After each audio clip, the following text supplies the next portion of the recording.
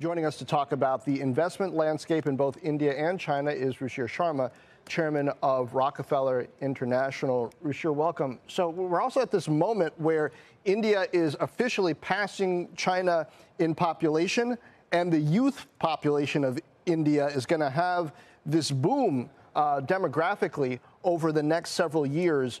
How should investors think about playing uh, that that bet on that booming uh, economic opportunity outside of just ETFs? Right. I think that, uh, in fact, this is a great time to be investing outside of ETFs. Uh, but I'm also keeping in mind uh, that um, even though the Indian economy is still about one fourth the size of the Chinese economy, the Indian stock market uh, is much bigger uh, in terms of as a share of the Indian economy and has delivered great returns uh, even compared to the S&P 500 over the last couple of decades. So from a stock allocator standpoint, India has definitely been the better market to allocate capital. Uh, and the company creation there is very impressive. The number of companies there which have doubled or tripled in dollar terms over the last decade as a share of the overall market is the highest of any country in the world. Uh, so this is a great place for stock pickers, and uh, just buying the ETF or India index is really something which is limiting because there are so many compounders in that market.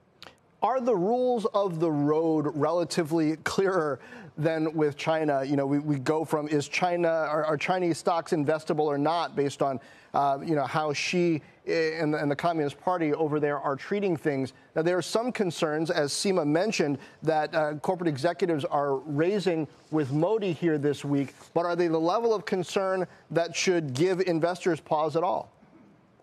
I think it's great that these uh, CEOs, if they have a frank chat with uh, the Indian Prime Minister about some of this, because there are issues in India. Uh, one of the issues I've spoken about as far as India is concerned is that the regulatory agencies out there or the investigative agencies, the tax authorities tend to be overzealous.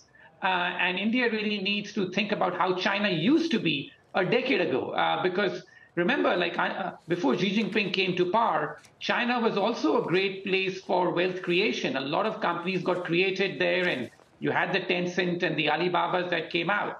But I think what's happened in China over the last few years is both a distrust of the kind of capitalism that was being practiced in China and also the demographics that you alluded to earlier. So there's a lot more that India can do to make the environment more conducive.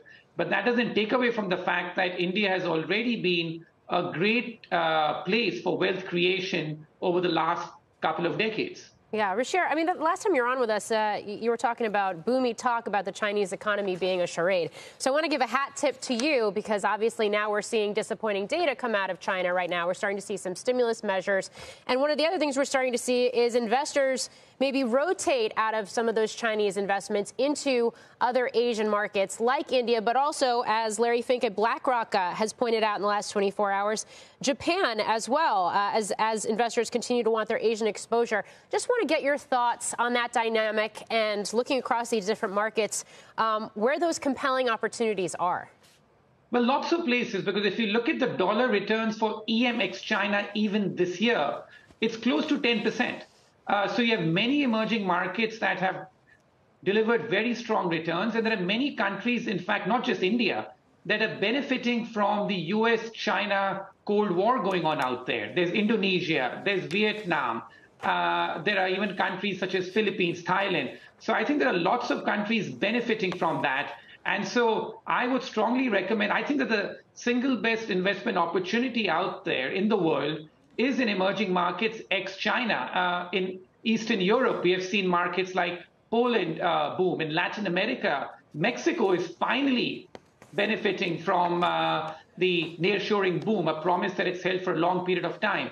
So a whole host of emerging markets are doing quite well. Many of them have generated dollar returns in the double digits this year, comparable to what the S&P 500 is doing uh, even though the S&P has done very well because of the big tech names, there the um, gains have been more broad-based. So I think that there's plenty of opportunity, and I'm glad that people and investors are now looking beyond China because there was far too much obsession with this one big market in the emerging market world, at least over the last decade.